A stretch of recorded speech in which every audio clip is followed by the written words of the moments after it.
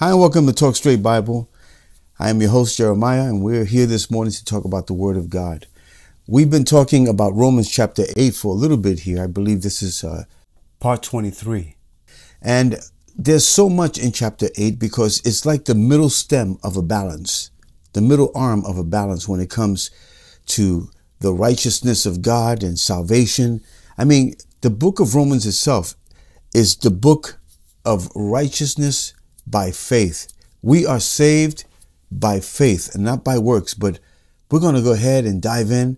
I'm going to start reading in verse 16 of chapter 8, and then we'll get into it. Here we go. The Spirit itself bears witness with our spirit that we are the children of God. And if children, then heirs, heirs of God and joint heirs with Christ, if so be that we suffer with him, that we may be also glorified with him. Remember, the Christian life is you know that you're going to go through some trials and tribulation. If you if you think you're not going to suffer, then you better be better be prepared because things are going to happen. But if you've been a Christian for a while, you know that you've been going through in this life with sufferings.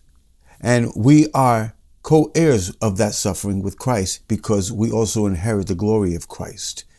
The Bible tells, tells us that Christ in you is the hope of glory. Now we're going to keep on reading in verse 18. It says, For I reckon that the sufferings of this present time are not worthy to be compared with the glory which shall be revealed in us. For the earnest expectation of the creature waits for the manifestation of the Son of God. Now, here it is today's message. For, for the creature was made subject to vanity, not willingly, but by reason of him who have subjected the same in hope.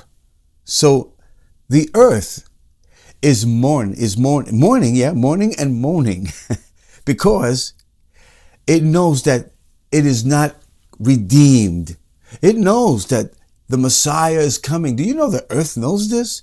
Because how is the earth that is alive not going to know about the Creator? Because you see, the creature itself also shall be delivered from the bondage of corruption into the glorious liberty of the children of God. For we know that the whole creation groans and travails in pain together unto now. When I read this a long time ago, I started studying, and that word groan is also before the burning bush as God appeared to Moses.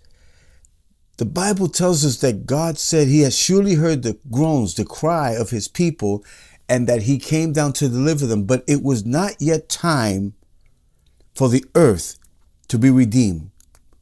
Now, notice he says, I heard the groans, the cry of my people. Folks, understand this. We've been subject to suffer with Christ. There's nothing that you and I can do about that. This world is vanity, disappointing, and misery. That's what vanity means, that he's subjected to misery. you see, the people became vain by their own will. We all did. We did vain things when we were in the world. But when we came to Christ, Christ subject us to misery unwillingly, meaning he says, you're going to suffer. You can say, I don't want to suffer. He says, you're going to have to suffer because part of being in that co-heir with Christ here on earth is that we're going to go through, just like the earth is waiting to be saved from its corruption. Aren't you waiting to be saved from this corrupted flesh, from this world that is corrupt in every sense of the word? Because why? Because of sin. But delivery, delivery from bondage of corruption into the glorious liberty of the children of God will be when Christ comes back to take his people out of this mess. This refers to the renovation of the heavens and the earth by fire when creation will be rid of all bondage and corruption and made new for the eternal perfect state. This world is groaning. I can I can just imagine like when you look out your window you're walking down the street and you see all the stuff that's happening or you look at the news, all this stuff, you can see the world in a mess. However, you can also see that we are waiting for the deliverance from the corruption of this world. The world knows that it needs to be delivered and only the coming of the Messiah. Right now, it may have some relief because of the children of God. We are here. Do you know that God is withholding the entire judgment of the world because you and I are here, the church? Hallelujah to that. The Bible tells us in 2 Peter 3, verse 10 through 13, but the day of the Lord will come as a thief in the night, in the which the heavens shall pass away with a great noise, and the elements shall melt with fervent heat. The earth also and the works that are therein shall be burned up.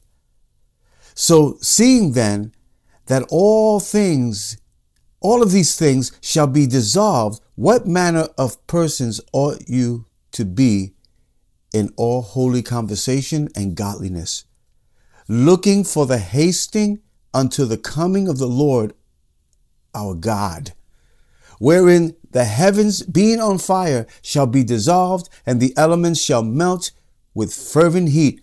Nevertheless, we, according to his promise, look for the new heaven and the new earth wherein dwells righteousness. We know that although we're here and we're righteous in God, this is not the righteousness of God in its completeness because the world will be dissolved. This world is going to be gone and it's going to happen by a great noise and a fire, the judgment of God. Wow, a great noise. You can imagine, you've heard earthquakes before, you've seen them on TV. It's going to be a million times more than that. And here, the delivery that we have, because God, God is the one who is the beginning, who laid the foundation of the earth and the heavens and the works of his hands. He knows how to do it. You and I don't have the power to do that. But what about your world? What about you where you are right now? Do you see the corruption in your own life? I see it in my life. I see the corruption, the decay, the ruin, the, the, the wickedness. Yeah, we have it inside of us. And that's why Christ came to deliver us from this by telling us you don't have to submit to the decay of sin, to the corruption of sin. You don't have to submit yourself to the ruins of this life because you have come to the liberty that Christ has given you on the cross. Now think about this. The weapons of our warfare are not carnal, but mighty through God to the pulling down of strongholds, casting down every imagination, every high thing that exalts itself against the knowledge of God. And then he says, Paul says, and we bring into captivity, we take every thought captive and take it to our captain of the host, Jesus Christ. He deals with that if we submit it to him. There are times when sin comes in your mind, that corruption is there. You have the power and the responsibility and the freedom to say, stop, thus far and no more. That's it, you're done. But sometimes, you know, we like to play with that. And yet we get, listen, we get entangled by the things of this world. And God says, turn from this, repent. But now this is what Paul says after he talks about the weapons of our warfare, because we're in a war here against corruption, against all of these things. He says this, and we are ready to punish every act of disobedience once our obedience has been established. Wow. That means that you got to be the gatekeeper. Why? Because we know that the whole creation groans and travails in pain together unto now.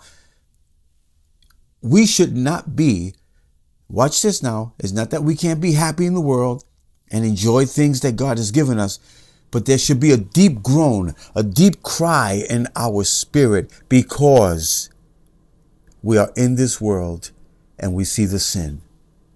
The Bible tells us, blessed are the pure in heart, for they shall see God. But yet, he also says that God will bless. Blessed are those who are mourning, for they shall be comforted. We are mourning right now. We're mourning in this world. Although we got joy, we're mourning when we see the evil that's happening. Now, let me tell you about this groan he's talking about. It's a cry deep inside. It's a lament.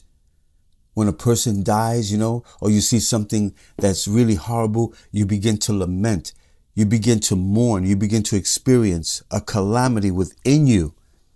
But God says this Blessed are you if you are this way, because the day will come when you will be comforted. Blessed are the meek, because they shall inherit the earth. You see, this earth is not happening. This is a garbage can compared to what's going on up there. Though it belongs to the Lord, it is not subject completely to his righteousness. The new world will be subject to God's righteousness because there will be no more sin. The groaning will be gone. We will have new bodies, new minds. You know, your mind, you won't even be able to conceive a thought of sin in your mind. Wow. What a day that's going to be. We're going to continue this because there's so much here. But I pray that you will be blessed and that you will continue to see God in the scriptures. That's why, please study the scriptures. Don't negate the study of the scriptures. So study to show yourself approved unto God as a workman who is not going to be ashamed, but one who rightly divides, slices the word of truth. God bless you. Have a wonderful spirit filled day. And remember, although you're joyful in this world, there's a mourning inside of you waiting for that glorious coming of the Lord to take us out so that we can be with Him in a world of righteousness, untainted. Until we meet again, shalom.